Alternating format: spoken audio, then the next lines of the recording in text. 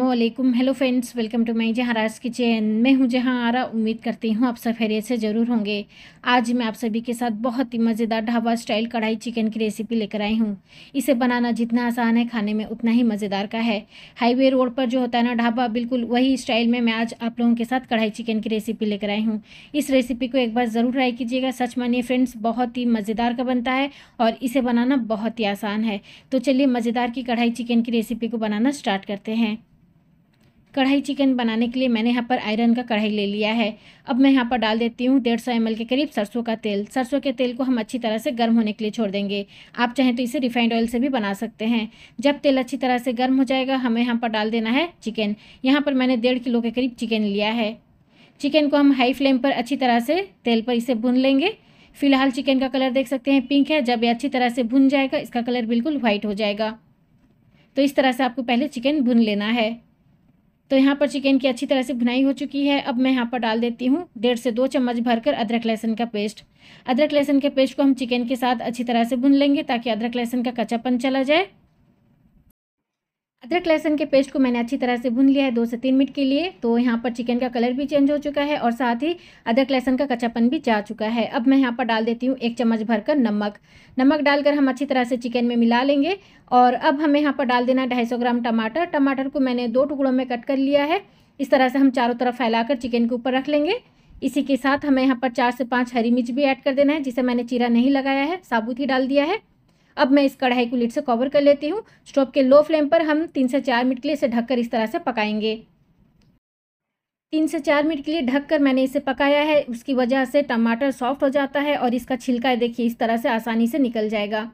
आप चाहें तो टमाटर का पेस्ट करके छान कर यहाँ पर ऐड कर सकते हैं, लेकिन मैंने इस तरह से इसे पकाया है चिकन के साथ और इस तरह से जब ये सॉफ्ट हो जाता है, इसका हम छिलका निकाल देंगे। अब हमारा टमाटर सॉफ्ट हो गया है, जिसे हम इस तरह से तोड़ लेंगे।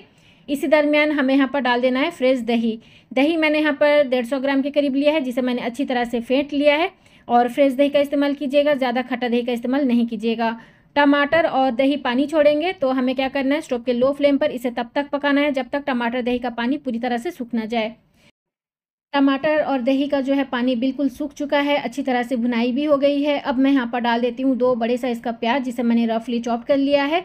इसे हम अच्छी तरह से मिला लेंगे चिकन के साथ और मीडियम लो फ्लेम पर प्याज की हम अच्छी तरह से भुनाई कर लेंगे, जब तक इसका कच्चापन चला ना जाए।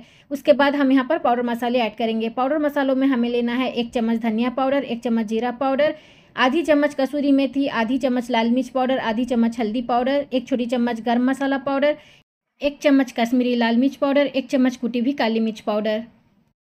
सभी पाउडर मसालों को मैं चिकन में डाल दूँगी। तो पाउडर मसाले डालने के बाद हम चिकन के साथ इसे अच्छी तरह से मिलाएँगे। स्टोव के लो फ्लेम पर हम इसकी अच्छी तरह से भुनाई करेंगे दो से तीन मिनट के लिए, ताकि पाउडर मसालों का कोई भी कचापन ना रहे। तो यहाँ पर देखिए चिकन की अच्छी तरह से बुनाई हो चुकी है। मसाले से तेल छोड़ने लगा है। बहुत ही अच्छी खुशबू भी आने लगी है। अब मैं यहाँ पर डाल देती हूँ पानी। एक गिलास के करीब मैंने यहाँ पर पानी ऐड किया है और उसके बाद हम अच्छी तरह से इसे मिला लेंगे और इस कढ़ाई को लीड से कवर कर देंगे। स्टोव के लो फ्लेम पर हम इसे बीस से पच्चीस मिनट के लिए पकने के लिए छोड़ देंगे। और देखिए, उसके बाद हमारा कढ़ाई चिकन कितना लाजवाब बनकर तैयार होगा। बीच बीच में इसका लीड हटाकर हमें चम्मच चलाते रहना है, नहीं तो मसाले कढ़ाई पर लग जाएँगे। तो यहाँ पर जो है ना, हमारा कढ़ाई चिकन बहुत ही मज़ेदार का बनकर तैयार होगा। सिंपल तरीके से बहुत ही मज़ेदार का बनता है। इस रेसिपी को ज़रूर ट्राई कीजिए। तो लीजिए फ्रेंड्स माशाल्लाह से हमारा कढ़ाई चिकन बिल्कुल बनकर तैयार है। बहुत ही मज़ेदार का बनता है। आप इस रेसिपी को ज़रूर ट्राई कीजिए। रोटी पराठे के साथ खाइए या फिर खुशका पुलाव के साथ भी आप इसे सर्व कर सकते हैं।